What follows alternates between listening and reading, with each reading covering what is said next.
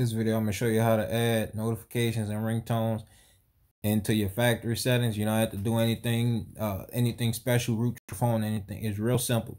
You download the song or you download the sound effect that you want to be in your notifications or in your ringtones. You go to that sound effect or that ringtone and you change the tag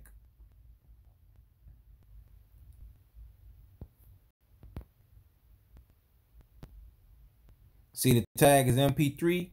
You change it to OGG. Rename is going to ask. Yes, change. Now take that OGG and move it to, we're going to set this as a ringtone. To the ringtones, move here. Now it's been added as a ringtone. So Back out of that, go to sounds and vibrations, ringtone. Now we want to find a ringtone. Oh, up here. That we added. Now that's the ringtone.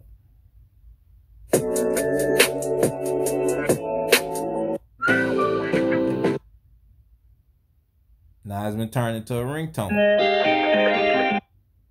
Or I can take it out of there. Remove it from ringtones.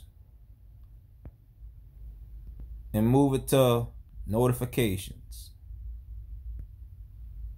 Now we're going to go back to the sounds and vibrations.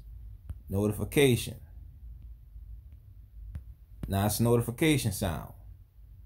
So whenever get a notification, that's what's gonna be there.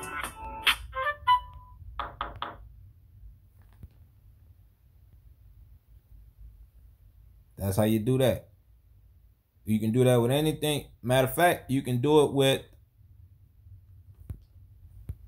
if you want it to be a particular audio sound, you can go to the voice recorder, internal storage, You can go to the voice recorder and change that to what you want it to be, which is what I already did. Let's go to notifications. Wrong one. Let's go to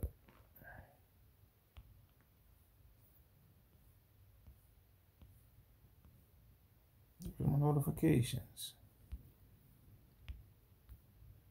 Voicemail.